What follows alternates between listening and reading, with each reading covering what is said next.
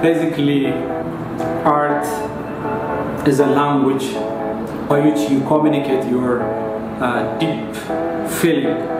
So in my subconscious, I believe those old childhood memories about Nile water is here due to this, you know. If you see most of my works, there is sense of this water and there this sense of people standing surround, you know, uh, enclosing the water, the lake or the small water. So I believe it's in my head, in my spirit, it's, it's, in my uh, subconscious.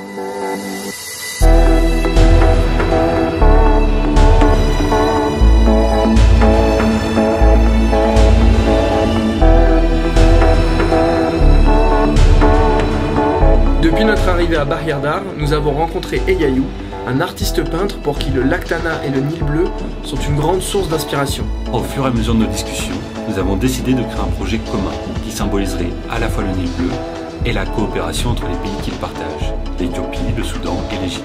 Mais avant de commencer cette œuvre, nous nous sommes rencontrés plusieurs fois dans son studio pour échanger avec lui sur sa vision du Nil et sur l'intérêt que pourrait avoir l'art pour créer une narration commune.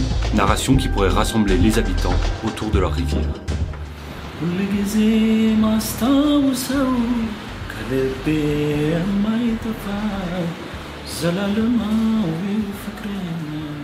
As an artist, I want to narrate or share different story of Nile. I want to emphasize about this uh, cooperation and you know more uh, talk about you know let the people you know governments are the representation of uh, the people but let people by themselves start to create discussion so I believe these two people are connected divinely with life-giving river it's a, like a gift you know, from God to the people of Ethiopia for the Egypt. So to deal with the people which is connected like this, I think it's fair to uh, to have uh, that cooperative mentality because uh, most of the time, you know, people talk about the share of the water, but I really focus on the. There has to be projects which really enrich this area so that the water flow will be sustainable. Art has a power to collect many people, to catch the attention of many people. So recently uh, we faced a, a, challenge. There is an endangered plant named the boch, which really um, uh, making uh, Tana in a risk. So I think there has to be Tana fund where this all countries, like including Ethiopia, Egypt, Sudan, you know, establish that kind of uh, fund and you know create interaction. You know, there has to be art exchange. We need to have exhibition, the moving exhibition, the working exhibition, from here to Egypt, from Egypt to here. On part pour l'atelier des Yaïous. On va commencer l'œuvre sur laquelle on travaille depuis un mois maintenant.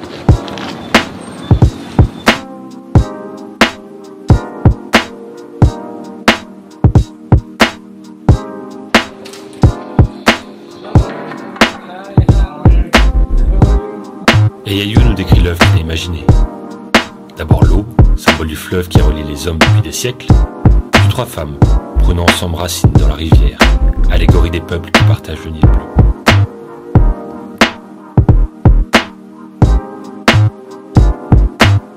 You think about it before you did it or you just No, I mean, actually, I have an idea that it's about uh, sharing, cooperation, you know, giving and receiving. You know, you give something and you take some something in a response.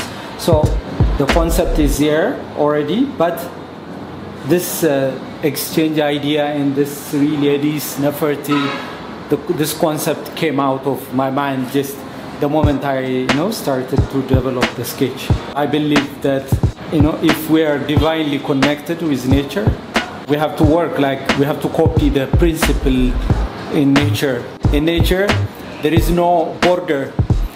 The air flows, the water flows, and you know there are birds which cross the political line.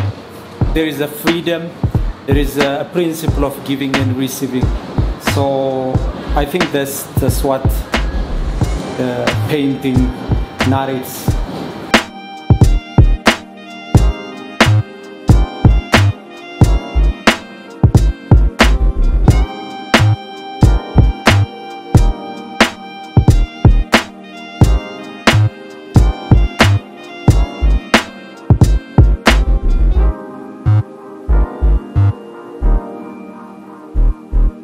Ça y est, c'est le dernier jour. On est en train de terminer l'œuvre qu'on a fait sur le Nil avec Yayo et Bastien. On se voyait deux fois par semaine euh, pour travailler dessus. Et on espère pouvoir voyager avec elle et faire partager la pensée des Yayou et le rapport que Yayou a euh, au Nil.